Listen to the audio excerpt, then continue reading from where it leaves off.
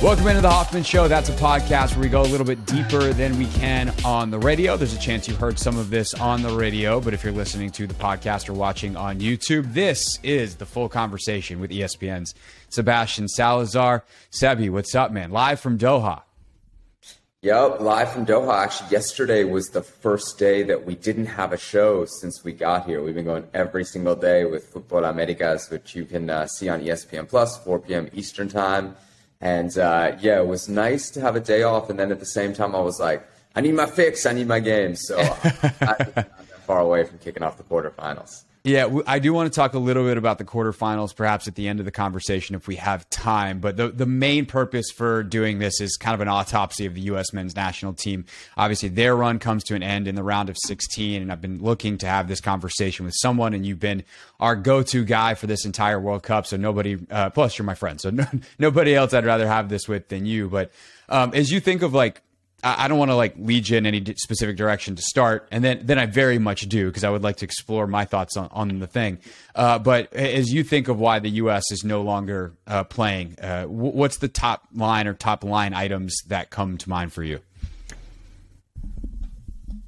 The United States is just not a top ten team, and I think we have to put into context like what this tournament is. From the group phase, you start with 32, and then you hack it down to 16, and I think when you get down to 16, there's still space for emerging nations. There's still space for teams that are maybe not that good. The jump from the round of 16 to the quarterfinals is a light year because that means that you're in the top 10 of the world and it means that you've beaten another top 10 team. And, and that's really what it takes to advance in these knockout tournaments, World Cup, you see at the European Championships Copa America, Gold Cup, the, the tournaments that we play on our side of the world are a little bit different and much less competitive.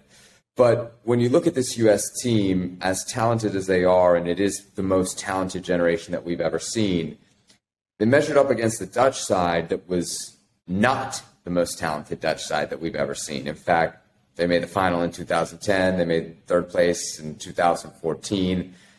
And people back home in Netherlands, because I talked to one of our colleagues at ESPN Netherlands, Pascal Kamperman, on our show, and he was like, people think this team is boring. They're shutting off the televisions. Like that's what they were Must thinking nice. about the team that worked the United States, right? So there are levels to this. And I think to really kind of grind down in on it, it's the level of the players and the level of the coaching.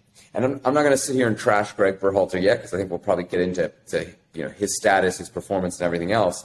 Yeah. It's really more an acknowledgement of, of the guy who's in charge of the Dutch team, Louis van Gaal. This is a world class manager. And so much of soccer, for those people that like don't know it, maybe don't love it, don't appreciate it in that way, does come down to tactics. Because the US had good players, right? They had players that were good enough to on a given day beat a team even as good as the Netherlands. That's the reality of soccer. There's so few goals scored that upsets are, are more prevalent in soccer than in any other sport. But the tactic setup was naive from the United States. It was brave, but it was naive. The Dutch setup was perfect, and the Dutch players were better. So when you put that together, out of 10 games, if you played them, Netherlands was always going to win eight or nine. And specifically on this day, their good players had a good day. Their good players are still better than our good players who didn't have a good day. And then our coaching staff kind of botched the game plan. It's easy to say that now. Hindsight's twenty twenty. Um, had there been some things gone differently in the early moments of that game, maybe we wouldn't see see this game plan having gone out that way. But I think it's pretty clear that the Dutch had a plan, and what happened in the game was exactly how they would have drawn it up. Right, and to the point that Van Gaal kind of said beforehand, like he almost goaded them into it. It's like, oh wow, their their attacking play is is so nice, and then of course it's they just brought him in, brought him in, created a whole bunch of space for the Dutch counterattack, and uh, not only that, uh, the U.S. was exhausted. Um, you know, and it's something that. Uh, whether it's some of the players like Landon Donovan on, on Fox's coverage, or I heard Jesse Marsch in an interview, uh, who was an assistant on that 2010 team uh, with Roger Bennett uh, over at Men in Blazers, talk about in 2010 because they had spent so much energy in the group stages, by the time they got to the round of 16, they were exhausted, and then Ghana ran them off the field. They had lost the game before the, the first whistle even blew. Um, and, and to an extent, that it seems to be what happened here as well. Like everyone points to Tyler Adams on that first goal. Well, why didn't he get back? Because he had no gas in the tank to go anywhere. Mm. And I think that gets starts to get into some of Berhalter, but not even in game.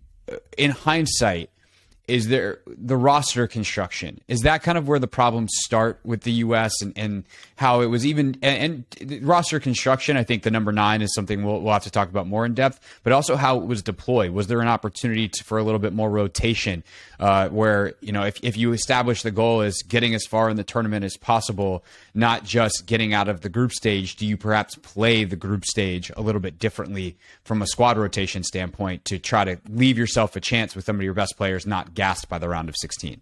Yeah, had Gregg Berhalter been thinking about anything beyond the round of 16 and been executing on that, he would have been incredibly irresponsible and a wild dreamer. So he should have planned this as a four game tournament, right? Th- that's the most important thing. Get out of the group, and then you pick up the pieces of what's left and you throw everything you have at the board. The, the other kind of point to mention on your first question is the U.S. is very rarely ever going to come out of a, at least this United States, going to come out of a group at the World Cup as the top team, which means you're always going to be that second team. You're always going to be playing the winner of the other group, which is going to be an elite team. And so when I talk about like the gap between Netherlands players and American players, I'm not just talking about, oh, they're technically better, or in this case, if we want to go take it to the manager, the manager's more experienced. They've been doing it a lot longer and a lot better than us. So they have a depth of players that they can lean on so that they weren't as tired. So the United States doesn't have that. When we talk about quality, we're not just talking about the skill difference between the top 11 guys on each team. We can look at the Dutch roster and say, okay, they got 16 dudes, all of whom would take a spot of an American guy. The U.S. has 11 or 12 dudes who can, can compete at the highest level possible. And then you start dropping further and further down into that into those depth charts, and the level would have dropped off significantly. And and let's let's look at what the U.S. did in the group phase. Yes, they go through second. Yes, they go through undefeated. If there's a penalty call on Carter, Cameron Carter Vickers in the last seconds of that game against Iran, and there very well could have been, there was a VAR yeah. review. They don't go through. So it wasn't some dominant performance. They needed every single ounce of energy from the players that was expended in the group phase just to survive, just just to make it to the round of 16. Now, to your point about Berhalter, one thing that was interesting is that before the tournament, he was you know very guarded, as you would expect a manager to be. But one of the few things that he kind of let on was that he was going to use his subs in this tournament. He was really going to lean on the fact that in this World Cup, you now had five subs as compared to three in the past, and he was going to kind of try and try and take some of that onus off his guys. He did use subs, but the one place that he very specifically didn't use subs was in midfield. We talk about it, it was that it was that three man midfield that everybody fell in love with, the MMA midfield, Tyler Adams, Musah, and Weston McKennie. And those three guys didn't get subbed because the drop off to the next dudes was massive. Okay. The, the next option in, in midfield was a guy like Kellyn Acosta, who's a, a good MLS player, but not in Europe. And he's in his, you know, mid to late 20s now. So that kind of tells you what his career trajectory is. The other is Luca de la Torre, a young player that's very technical, but can't even get a game right now for his middle of the table team in Spain. Right? So Weston McKennie's at a massive club like Juventus. Yunus Musah is wanted by some of the biggest clubs in the world, and he's an every week starter for Valencia, a very historically important team in Spain. And Tyler Adams is starting every single freaking week in the Premier League. The drop from those three dudes down to the next yep. is significant. And that's not on Gregg Berhalter. That's on youth coaching, the U.S. Soccer Federation, and how they how they grow the game, and the fact that we don't have for as many people that are not just in the United States but playing soccer, boys specifically, because we're talking about the men's national team that plays soccer in the United States, we should have a very deep talent pool. We don't yet. I think we'll get there someday. But I think that's really what you saw against the Dutch. You saw one team that had rotated quite a bit of its midfield, which is where you do most of the running. Another team that had not rotated its midfield at all. And then you had the technical proficiency of the Dutch players, and I think anybody even that don't know soccer saw it in that first goal. It was it was pinball. Bing, bing, bing, bing, bing, bing. It was like one team was, you know, operating with ease and the others were were chasing. And and that was the reality. And a tired team chasing is always going to end like yeah. that, like that counterattack ended with the ball in the back of the net. Yeah, definitely. Um, so, so much of my World Cup viewing experience was influenced by your colleague at ESPN, Ryan O'Hanlon, and the book he just wrote. I don't know if you've read it, uh, Net Gains. I've not. But it's, I got a copy of it, but it's sitting on my desk. It was supposed to come over here in the airplane, but I haven't read it yet uh, yeah, you uh, you know you've been a little busy. I think that's Ryan will forgive you. I will forgive you. Uh, but it, it's so interesting reading it. Like my timeline reading it was as I watched all this unfold. So the you know I obviously have been following the, the sport for a while. It's not like I came in knew nothing, read this book, and was like, wow, I am enlightened. But my understanding of the game because of some of the data and some of the ways that some of the smartest people in the world uh, that are quoted in the book think about it was so enhanced, and it was kind of it was funny, um, but also not because they lost. Um, reading a particular chapter about midfield while I think it was the night before uh, the game, or maybe it was the day after the game. It was it was right around the the Netherlands game, and basically the conclusion is that of the three uh, thirds of the field, midfield is the least important because you are defending your goal or you are trying to score goals, and that is where the game is won and lost. And then midfield is the area in between, even though historically, culturally speaking, it is a very glorified position. And it was sad and funny and depressing reading it because you're like, oh, we're great in the area that we don't like, that has the least actual impact on the sport uh, while we are incredibly weak in the area that is most important, which is scoring goals. And that leads to Gregg Berhalter's uh, decision making process up front in that final third where the U.S. struggled mightily in this tournament. How much of this is some of the same factors you were just talking about the lack of players available versus Berhalter making a decision, uh, especially someone with a club background, you know, where system is incredibly important uh, and, kind of getting the guys who you think fit your system versus taking a Jordan Pefok, taking a Ricardo Pepi, uh, and and leaving a Jesus Ferreira uh, at home and just bringing the best talent and, and, finding a system that makes that work. Like, did the U.S. actually have the talent available in the pool and not bring it, or is this a lack of talent overall in the system? There's a little bit of both. Let, let me address the point about midfield first. Um, I don't agree that it's the least important. It's the least determinant.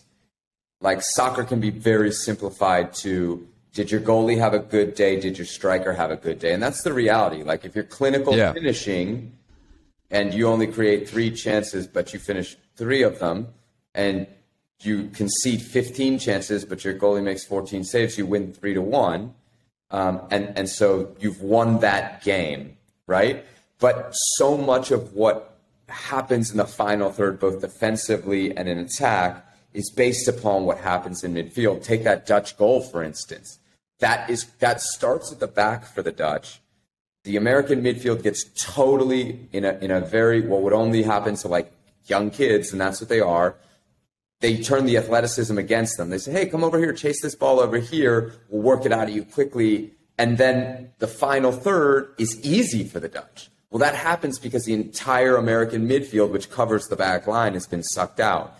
Dumfries has a, a ton of time to drop it off to Memphis Depay, who has a ton of that's a that's a training drill for those guys, and that right. happens because of execution in midfield. So midfield is is for some arguably not not the most important part of the field, but I would say it's it's I would only word it as least determinant because like it, it right. and I think that's that's an important clarification. And and certainly what I was trying to say and if I did a poor job I apologize. It's not like it doesn't matter. Like ah who cares? Like put me put me and you out there in the midfield and we're fine. No absolutely absolutely I mean I don't know. Perhaps you're an excellent midfielder. I would be terrible. Uh, but of the three yeah. it is the least determinant I like that that yeah. phrasing. Um, and it's actually kind of funny to sidebar uh, back into the book but it's it's kind of like it's also the hardest to quantify. Yes. and often some of the top clubs in the world literally look at other clubs that are being successful and just go, okay, that guy's playing midfield at that club that's winning. We don't really know why, but he's going to come play for us, and it works. Like that. That's the data uh, on midfield for a lot of really high end clubs because midfield is so hard to quantify what the actual, to, to use your word, uh, determinate skills are. But obviously, to the to the number nine part, we know what that determinate skill is, and that is putting the ball in the back of the net. So I'll, I'll, kind of give you what I understand of Berhalter's decision making with the three, and then we'll go into the guys that, that weren't brought in. So, and I didn't like this. Instead of bringing, let's say you're going to a construction site and you need, you know, you're going to need hammers. Instead of bringing your biggest three hammers, he brought one hammer, like a screwdriver and a wrench.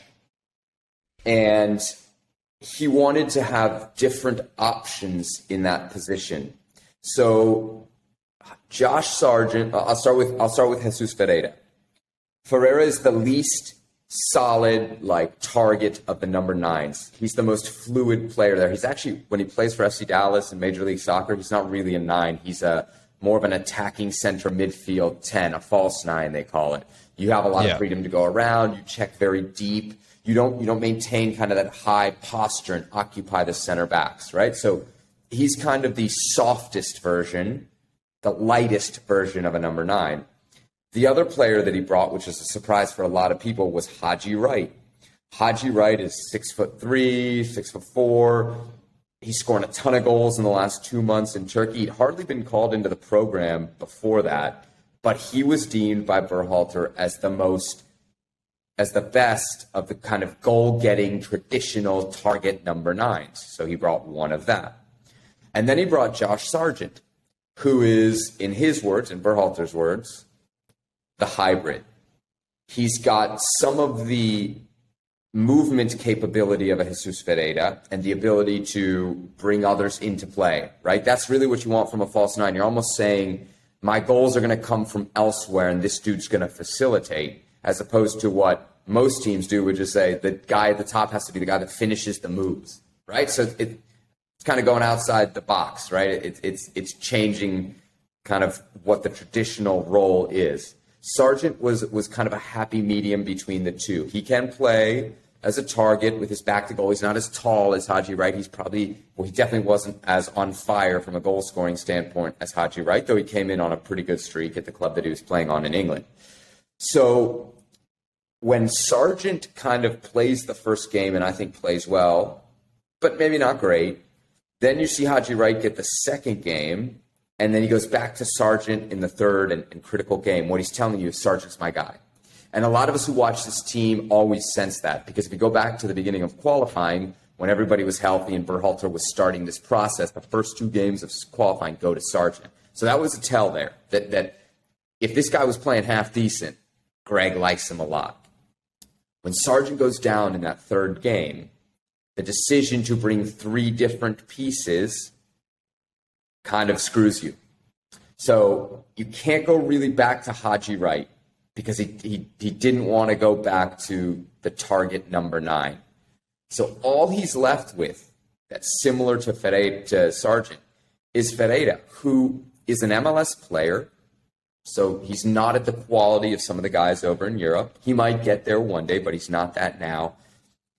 And beyond that, being an MLS player, you've sat out the last two months because the season for this guy ended in I think October 23rd was his last game. It was, and they made the playoffs.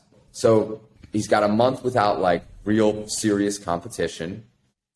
And then on top of that, he went ice cold goals wise at the end of the MLS season. So he's not hot in a scoring sense, and he's not really playing at a high level generally. And then on top of that, he's not getting competitive games.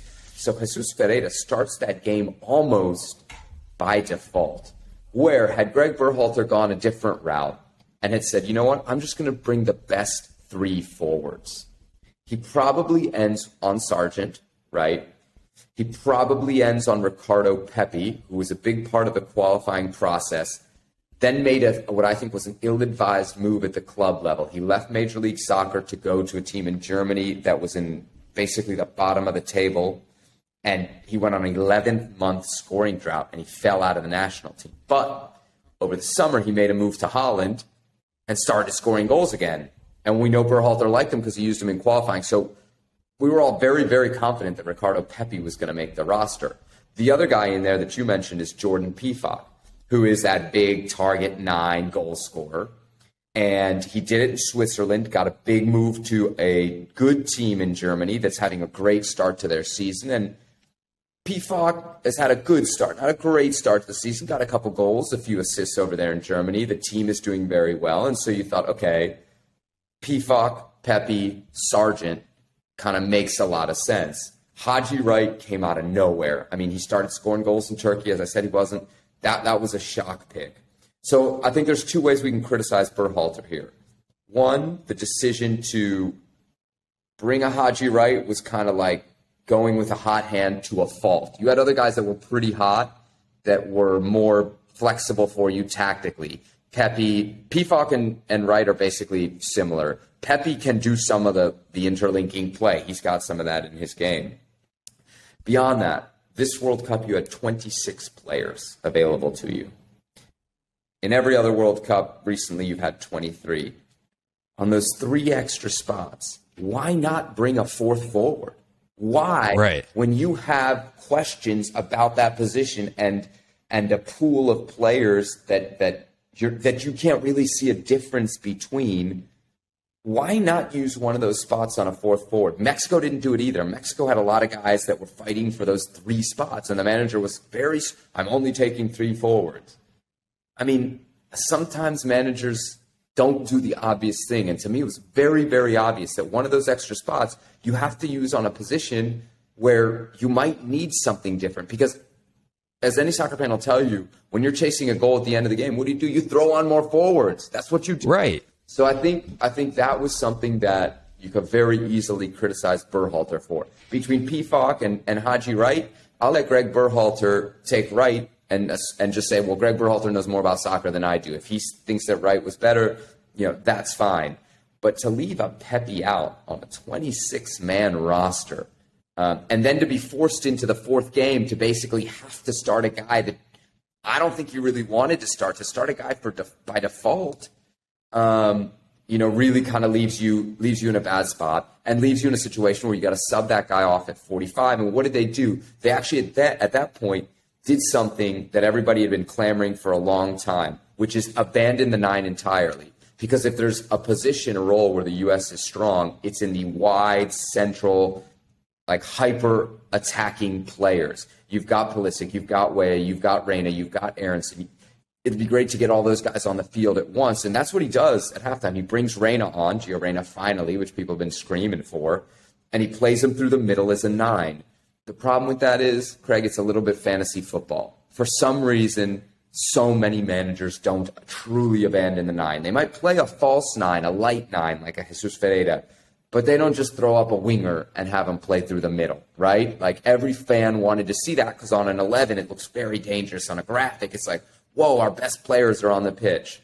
But I think you need a target. I think you need somebody to occupy the center backs.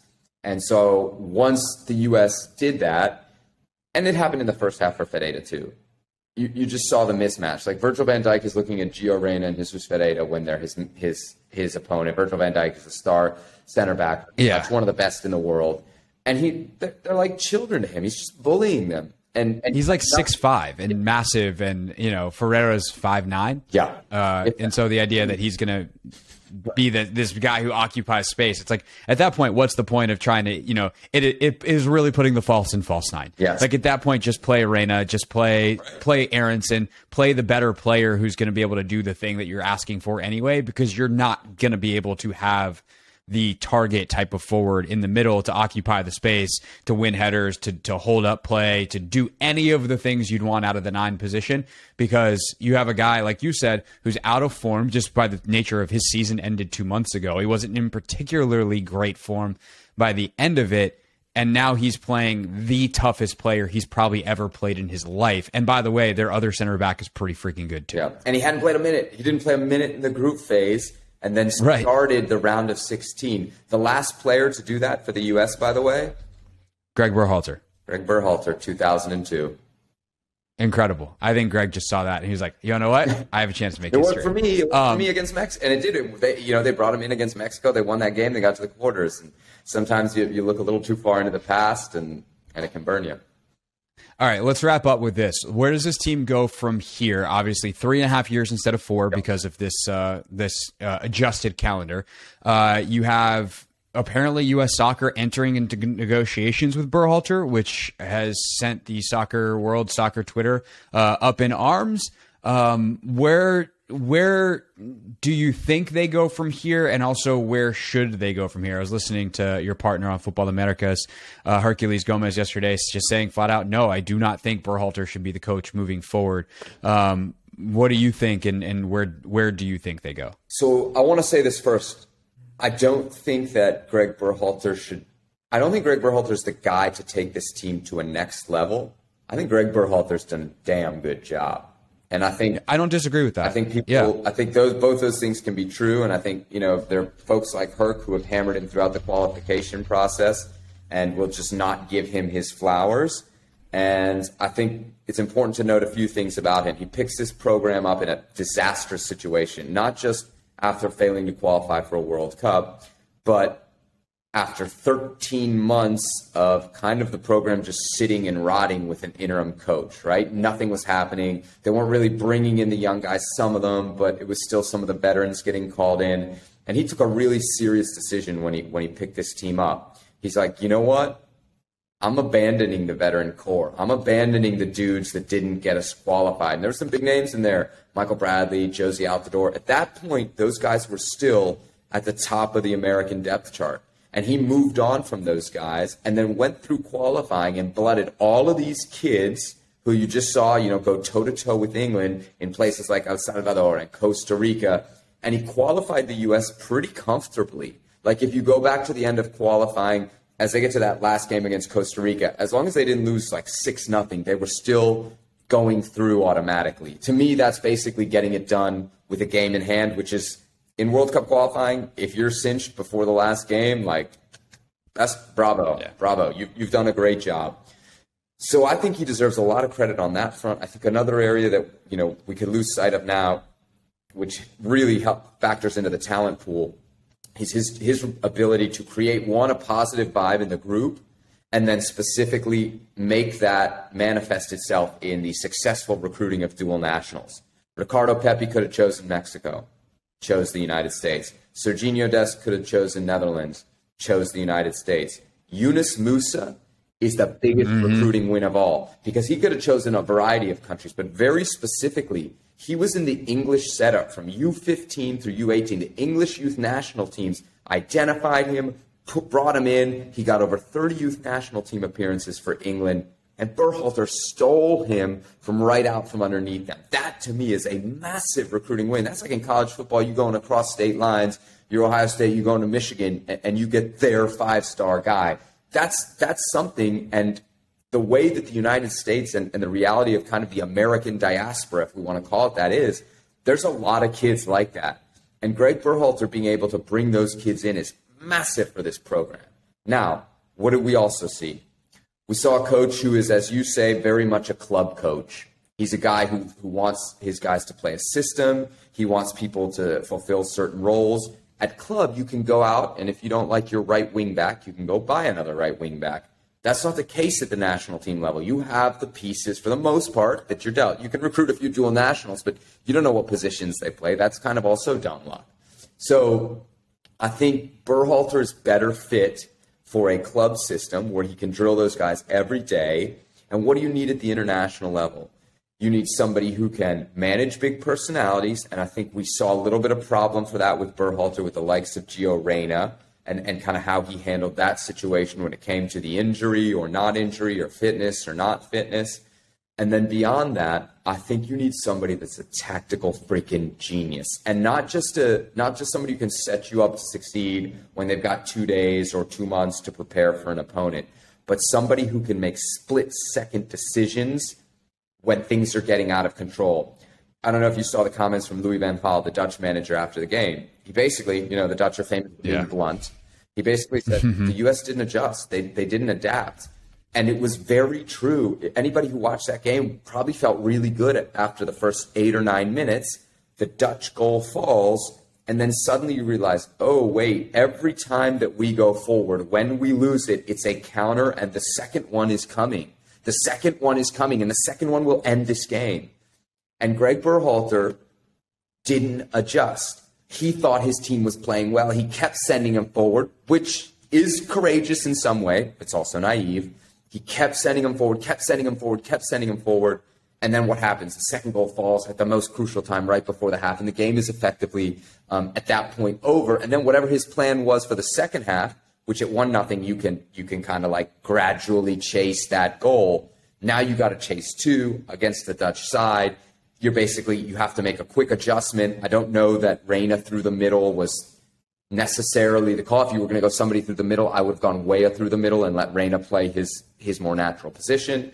Weah is a guy who, even though he's not physically like strong gifted, he's physically fast gifted, and that could have given Van Dijk some problems. Van Dijk would have bullied him, but he might not have caught him to bully him. So right. I think the tactics there, when you get into knockout tournament football, like let's be honest, we're judging Gregg Berhalter here on four freaking games, four games. That's it. So you you really every minute, every second matters. And I think for this team to make that next jump, and I'm telling you, it's a big jump to 2026 and being, you know, a quarterfinal team. There's a huge gap between round of 16 and quarterfinals and beyond. I think you need somebody who is very, very good at in-game management, and I don't think Berhalter's there yet. But I think the U.S. team is exceptionally well set up. Everybody talked about this team, second youngest in the World Cup, golden generation they're going to be 26, 27. That's a footballer's prime for the next World Cup. And there's a few positions, you mentioned the number nine, where like there's gaping holes. Central defense, there's going to be some big questions there moving forward because the two guys that were starting there were, were kind of older. But, you know, once you. Hey. Rumi, what's happening, lad? What's up, Mishaka? good, good. We have roommates here for ESPN. Shaka Hislop, uh, legend. You good, bro? Oh, okay. good yeah, I think that's kind of the point, right? Is that like um, you look at this roster and you, you do the math and you think 2026, you think home World Cup, you know that they're going to be like kind of the, the top seed in their group. They're going to get all the advantages that, for instance, Qatar had this time. Qatar couldn't take advantage of it.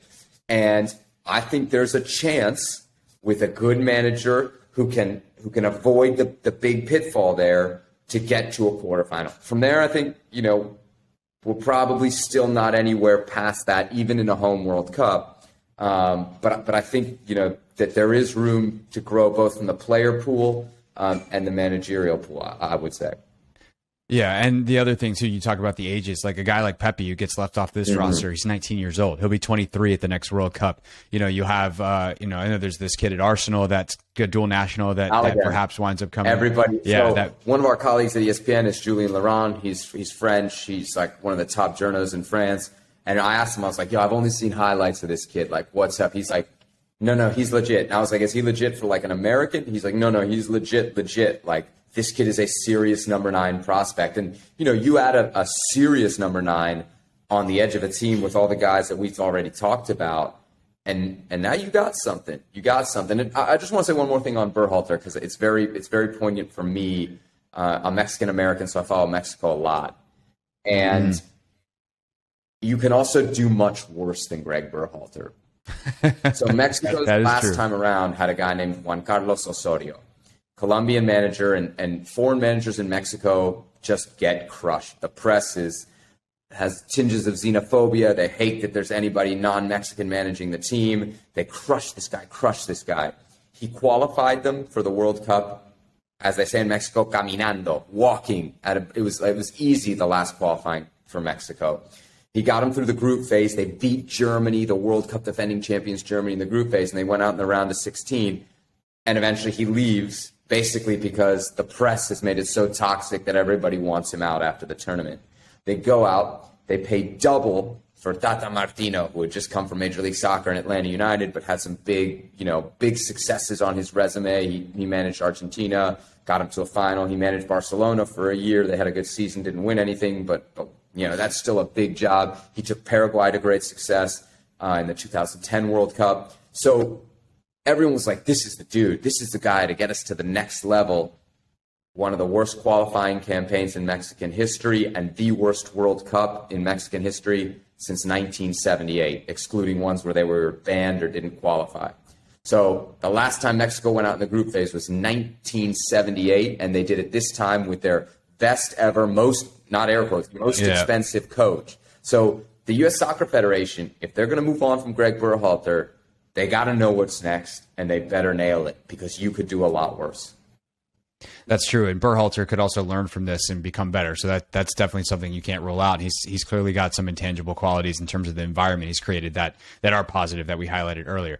Sebi, this was great as as expected. Uh, enjoy the rest of the tournament, my friend. Hopefully, I'll see you when you get back here stateside. Uh, thanks for doing this, and uh, we'll talk soon. Yep, always a pleasure, Craig.